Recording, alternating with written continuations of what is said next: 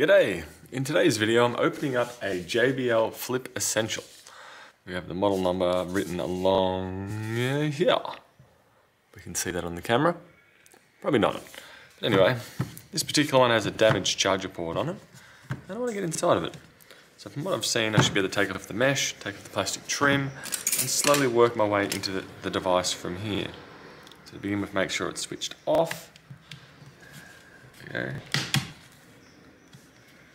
actually prying up a lot easier than I was anticipating. Should do the same on the other side.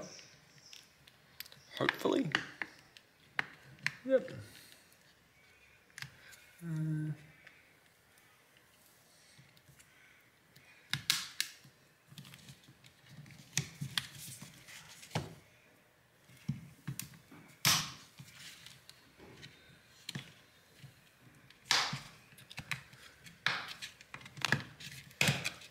go. That's that off. We reveal the speakers. And this end cap, from what I see, should push out. I'm seeing a couple of screws in the end there. One, two, three, four. Give them a hit the screwdriver.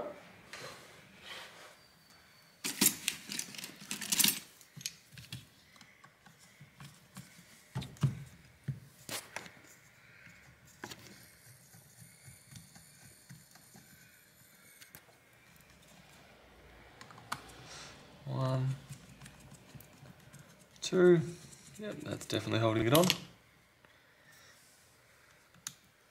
Now the screws don't want to come out, of course.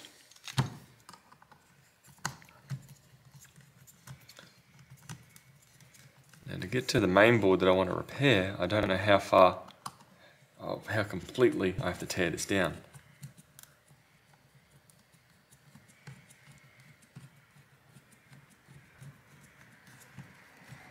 Go. Lift this up as well. Nothing hidden down there.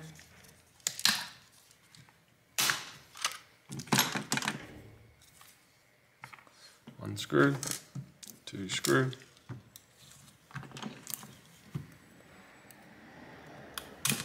Three screw, four screw. It looks like we've got to undo the ends.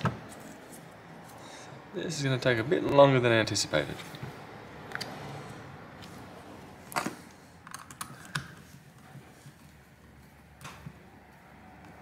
It's definitely done up very well.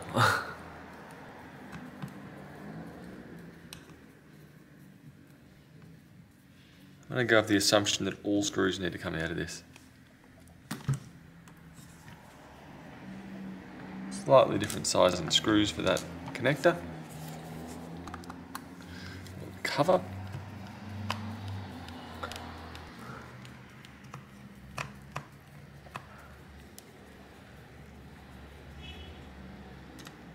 Go.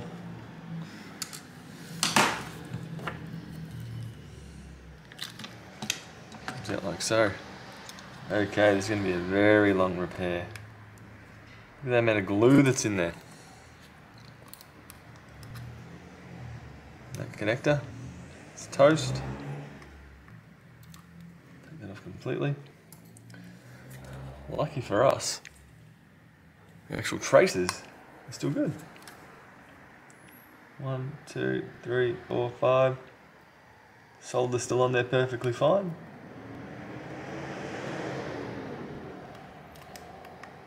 Remove some of that glue, I might actually be able to reattach it without having to fully tear this down, which will save a fair bit of time.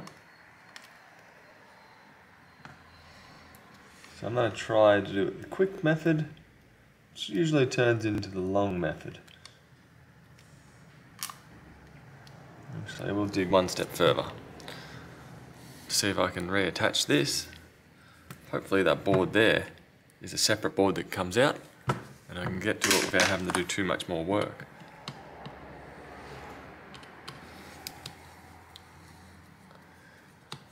But of course that is not going to be the case. Let's take out these five screws and find out.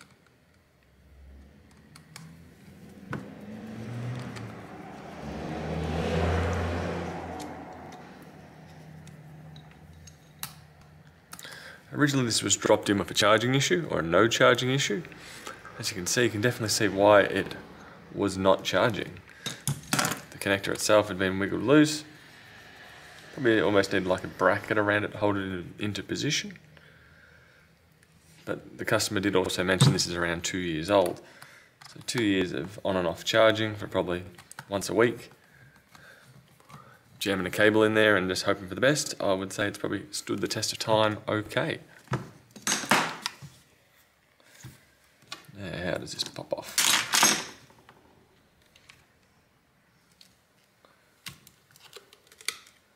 Like so.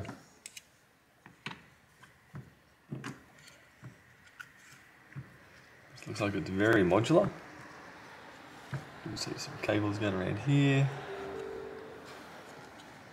I almost suspect that the glue's mainly holding it in. And its cable is this big one down here. By the looks of it, more of this will need to be disassembled.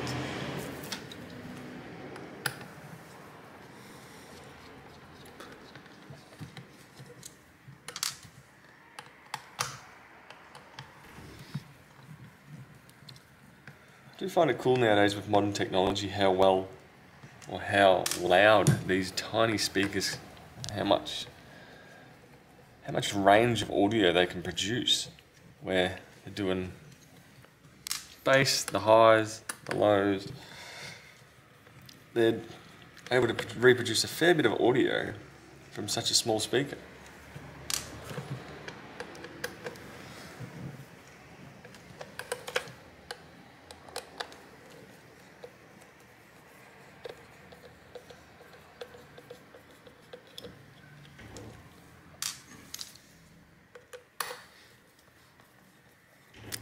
A little battery powered drill right now, that would make this so much easier. I myself need to get my hands on one of those. I do have my normal standard industrial drill, but nothing just for quick little screws. So that should be on my next list of things to purchase, tools to purchase.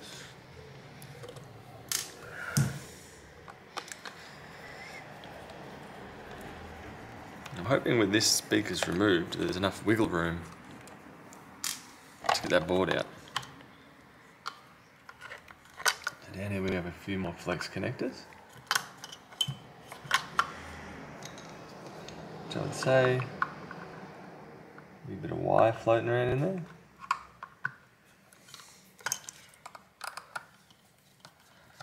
we're going to town. All the things going apart.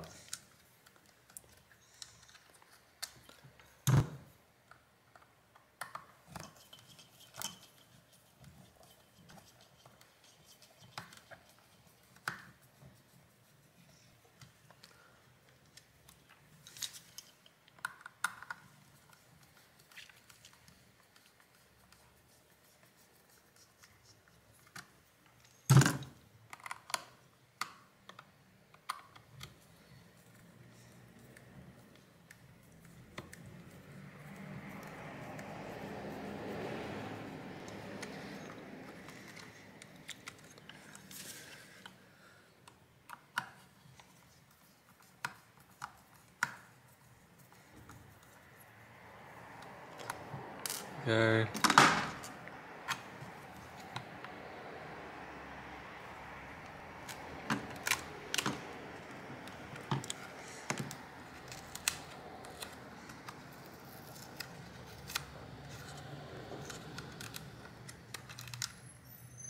don't know why that's taped on there. It's a bit of pain in the ass. It did disconnect from that connector here.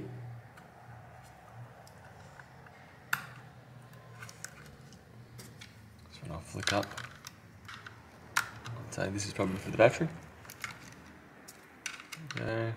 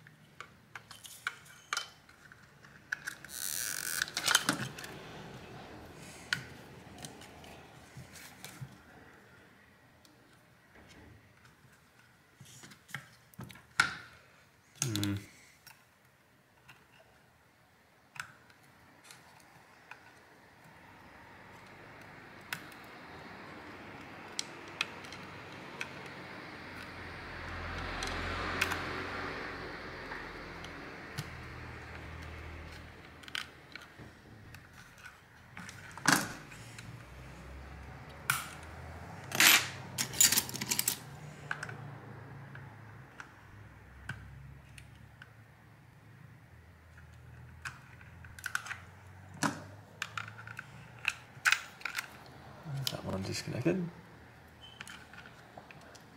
I've got most of that disconnected at the moment.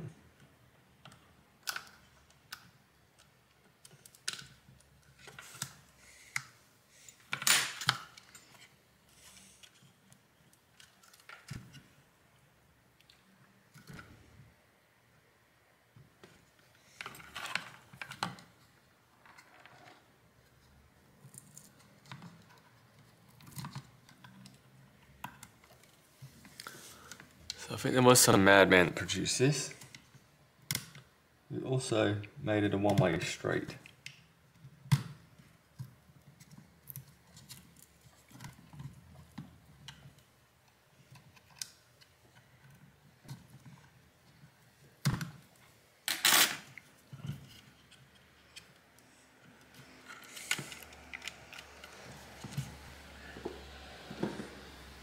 Try the old tweezers method. No help there, that glue is strong.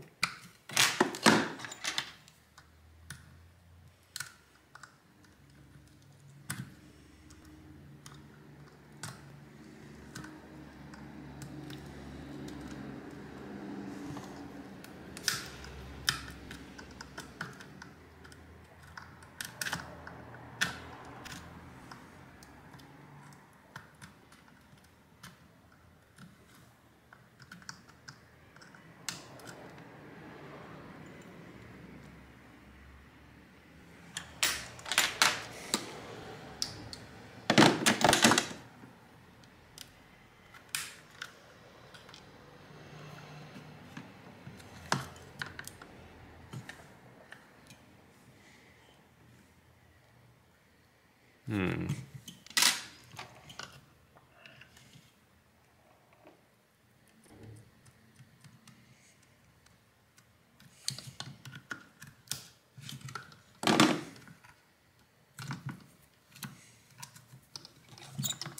So now I'll try and dig in here.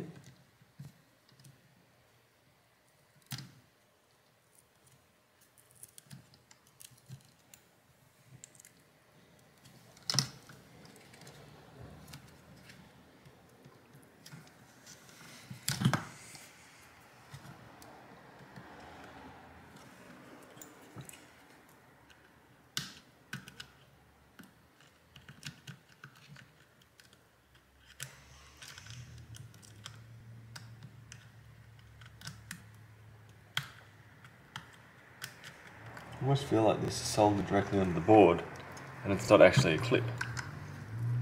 If that is the case, getting it out is going to be very tricky.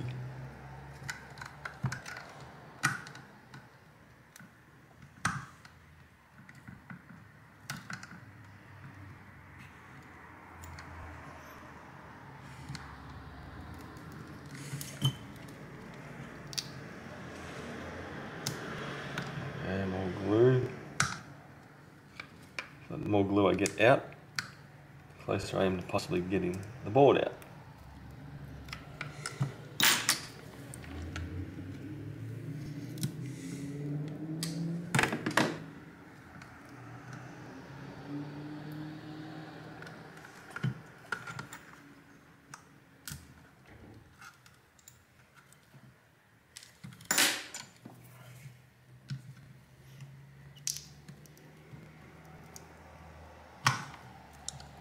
Great.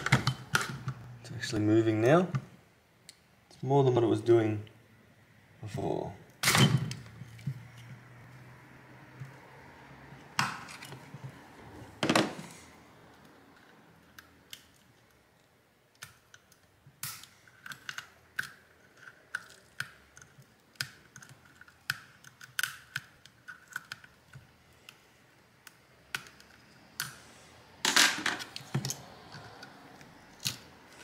There.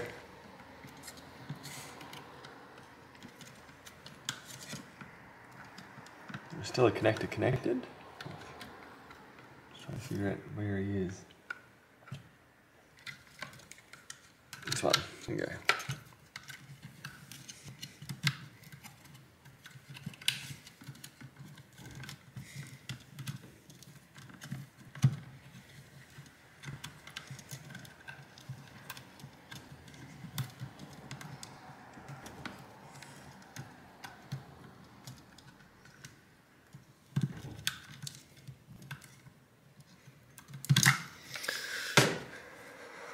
At wob of glue. to two connectors that can't be disconnected.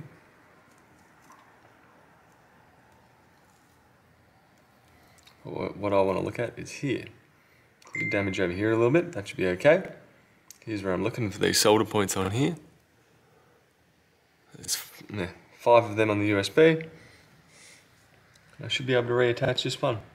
Put some new solder on there, clean it up, and that should be okay.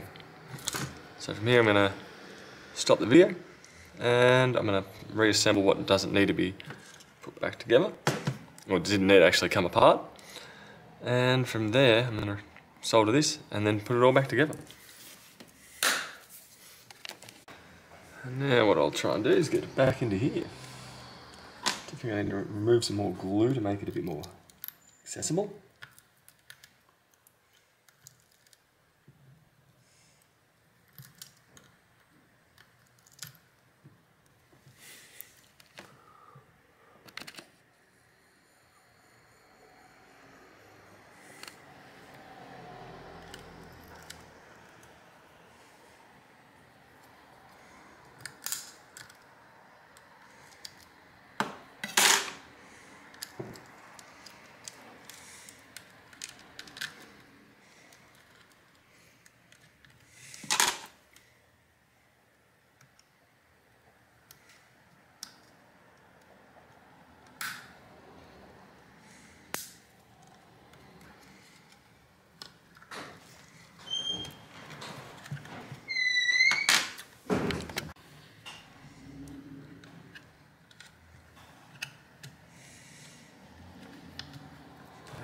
Did go around the other way.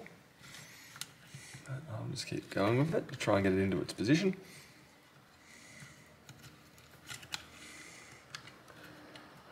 Around.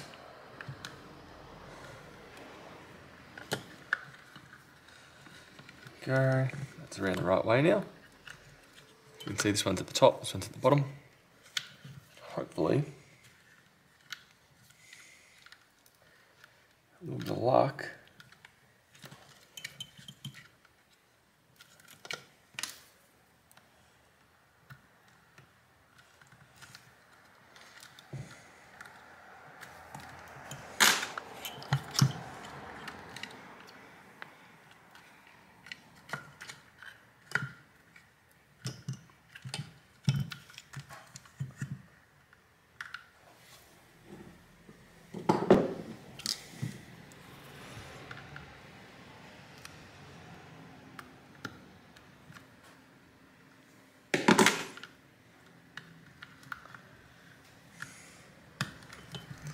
Okay. That's basically where it lives. It does seem to be sticking out a bit too much. Would have expected to go back a bit further.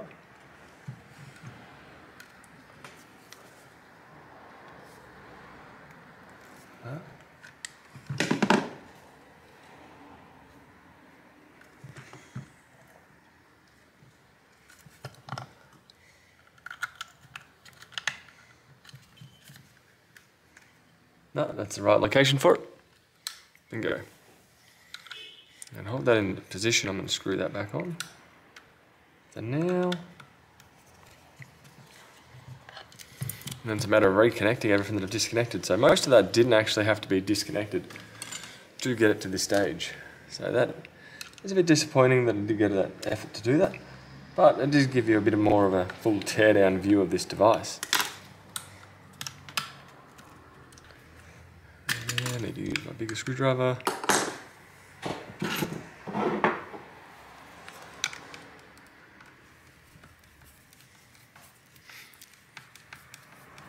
And having a manual drill for this would make it so much easier as they do require a fair bit of torque to tighten them down. But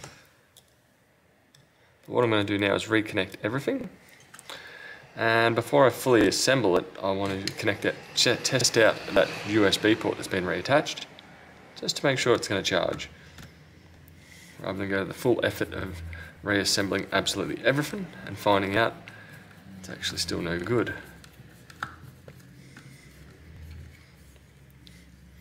Go. on.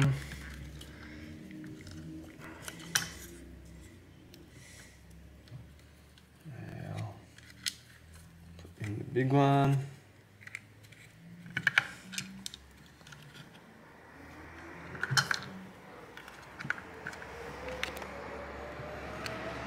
This does to be a bit challenging. tweezers will make this a lot simpler.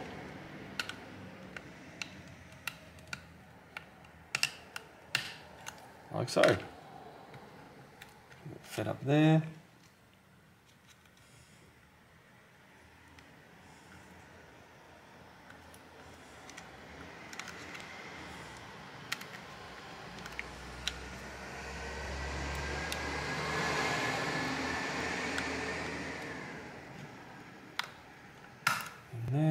Yes. I think that pushed into there. If mem memory serves me right.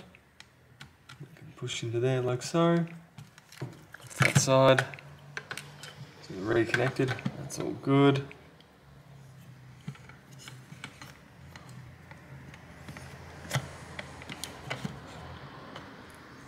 This speaker here did need to come out, the other one did not.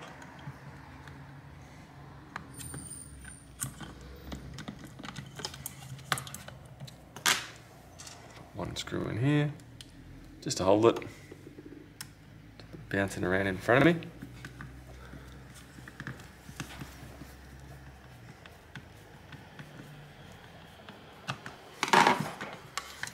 Next up is these connections over here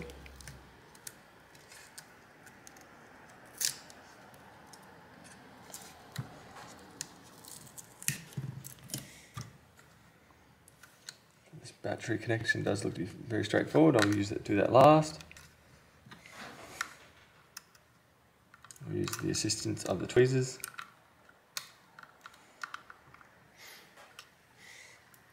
Slide that in. Here.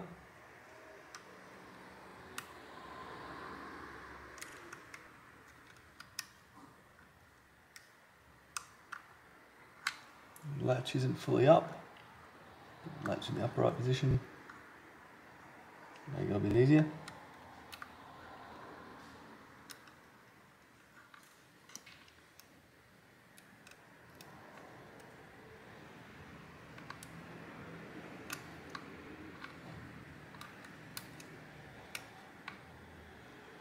Or maybe not.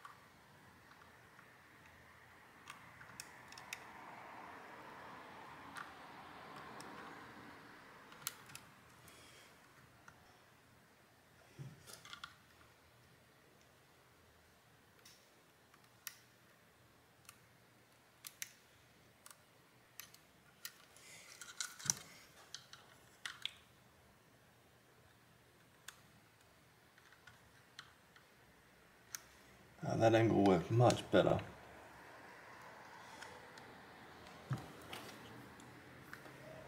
I believe it's in. Can't push it in any further.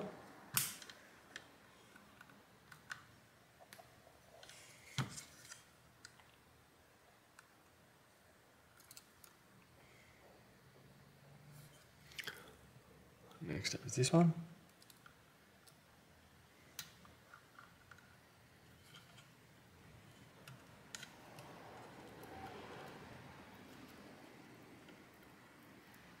think that got it. Next it's battery.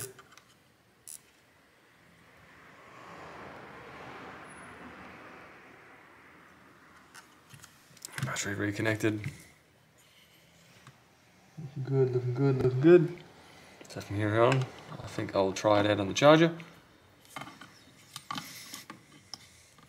Make sure the rubber grommet here, the sound dampener I would assume it's four. It's sitting in the right place before we put the speaker down.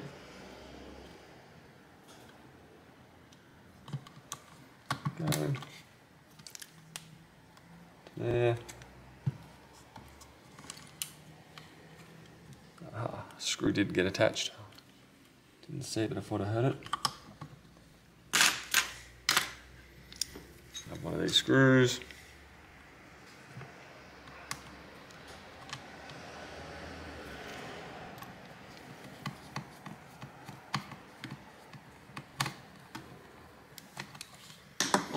Now, with that all connected, I'll see if I can get some power to it.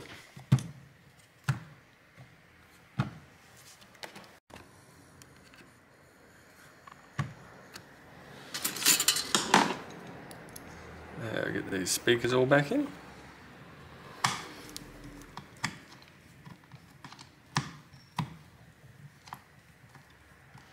It'll be a matter of putting these screws back on.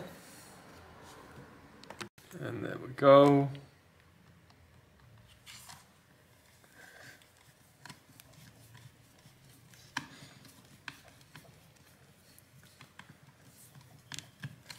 Next up, side panels.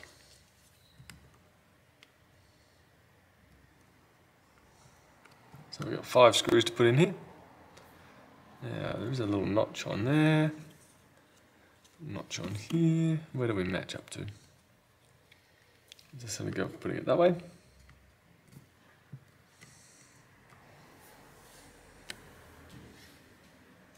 The content soon followed. So there is a couple of little circles. There's one here. There was probably one there, but a little cutout circles here, and this notch bit here goes into the little cutout notch here. That's how you know your orientation for this one. And there, it should be as simple as lining it up, getting in those two holes.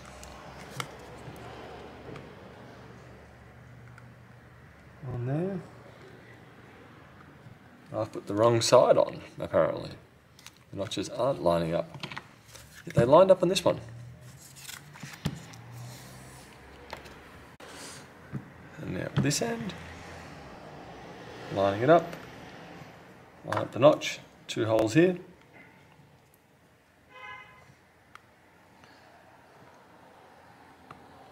Go. And screw that one in. So you do you will only be using five of the screws, even though it does look like there is more holes there.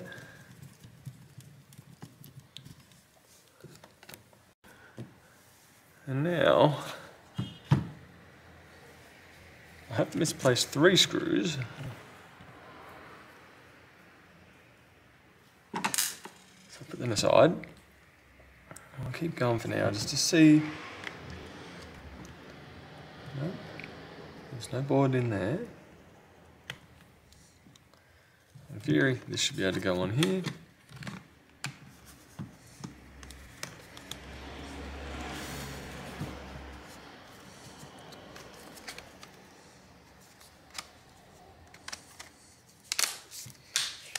Clicks in.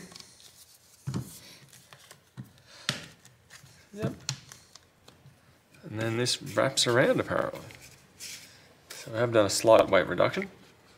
We'll review the tape and see where that was. Hopefully that gives you a rough idea on how to fix up the charger port on your JBL. They're all clicking. Power's clicking. Port is charging. Hope that helps, and I'll catch you guys later. Bye.